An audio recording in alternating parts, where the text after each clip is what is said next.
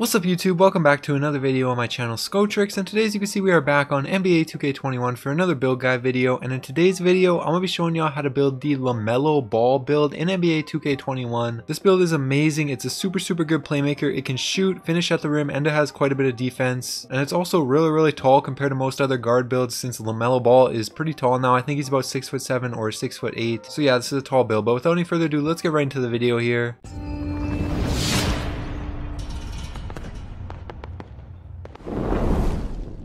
Alright, so in this first screen, nothing really matters too much except the position. You want to be point guard, the name, jersey number, hand, none of that matters. You can set that up however you want. Then go ahead and click continue.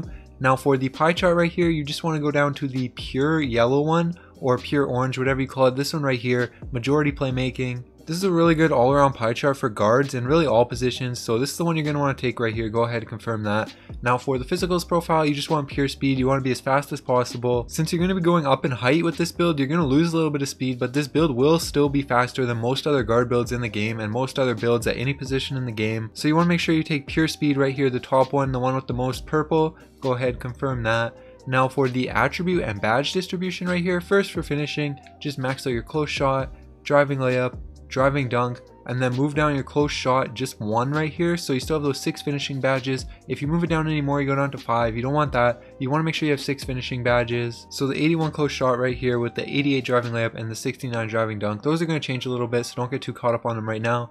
Then for the shooting you want to max out mid-range three point free throw and post fade you want to have as much shooting as possible but you can bring down your post fade a bit and not lose any shooting badges so that's what you want to do right there Put your post fade to 64 and max out your free throw, three pointer, and mid range just like that. Now on to playmaking right here, you just want to max out pass accuracy, ball handle, and then just move your post moves up too so you get all 30 playmaking badges that you can get with this build, which is crazy. You're going to be able to get every single playmaking badge that you could want with this build. And I'll show you guys how to put on the badges at the end of the video. But for now, go down to defense, max out perimeter, max out lateral, then put your steal up to 75 right here and then max out your defensive rebound just like that. It gives you five defense badges. Again that'll be enough for this build. Your increased height will also help you play defense against other guards as well. So you will be good right here with five defense badges. Go ahead and confirm all of that. Now for the body shape it doesn't matter. You can take whatever you want. It won't affect the build in any way. It's really just personal preference what you like the most. I'll take compact for this build but again you can take whatever you want.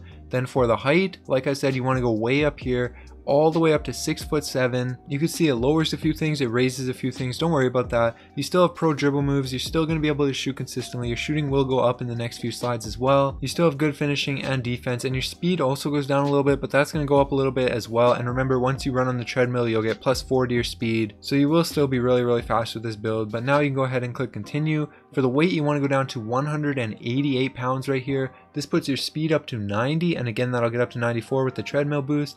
88 acceleration, a couple other things change a little bit, but nothing crazy. So you just want to have your weight at 188 pounds right there, just like that. Now for the wingspan, you want to go down to 80 inch wingspan right here, not quite minimum, one above minimum. So you have the 85 ball handle, you have a 74 three pointer, which again, that'll go up once you get above 95 overall. And also you could buy shooting boost for this build if you really need it, but you should be able to shoot consistently. And also a couple other things change, but again, nothing too much. So go ahead and confirm that right there at 80 inch wingspan. Now for the takeover, I recommend definitely taking the playmaker takeover for this build. You could take shot creator if you want. You do have an 80 mid range, so you will be able to shoot shot creator shots but I think the playmaker is definitely the way to go. You can break ankles and you could help out your teammates with really, really good passing. So the playmaker probably the way to go for this build. I'm going to go ahead and confirm that. And as you can see right here, boom, you built a playmaker, shades of Jamal Murray, Kirk Hinrich, and D'Angelo Russell. Obviously, it's not going to be shades of LaMelo Ball because he's not in the NBA yet, but it does play like LaMelo Ball. So now I'm going to go ahead and show you guys how to put on the badges right here as well as the final attributes for this build. So right here is the final attributes. You can pause the video right here if you want to see these, but I'm going to go right onto the badges here.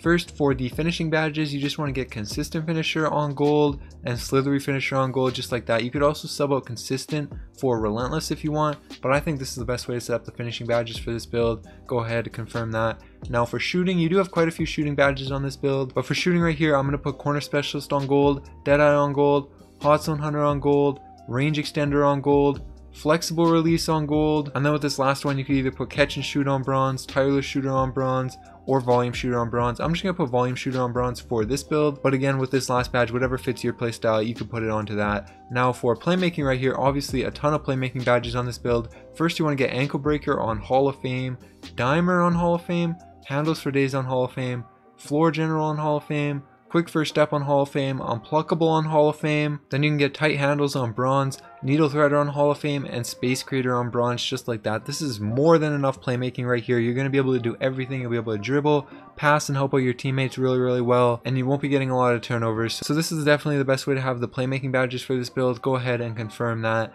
Now for the defense badges right here, you only have five defense badges, so you got to be really good here. Just put clamps on gold and intimidator on silver just like that and you'll be good with these defense badges. Especially considering since you're six foot seven most of the time you won't even be guarding the person who's dribbling the ball unless you're playing with two big men on your team or something. But usually if you're playing with another guard on either threes or the rec or the 5v5 pro am then you won't have to guard the primary ball handler. Really the only way you'll have to is if you're playing with two big men like I said or if you're playing twos. And either way these badges will be good just like this. So go ahead and confirm that. And there you guys go. That's how you build the LaMelo ball build in NBA 2K21 hopefully you enjoy if you did make sure you like the video, subscribe to my channel if you're new. I upload daily NBA 2K21 content, and I'm getting ready to start uploading next gen content as soon as it drops, so make sure you sub right now so you'll be here for that. And also go follow my Twitch, link is in the description. But anyways, that's going to be it. Alright, peace.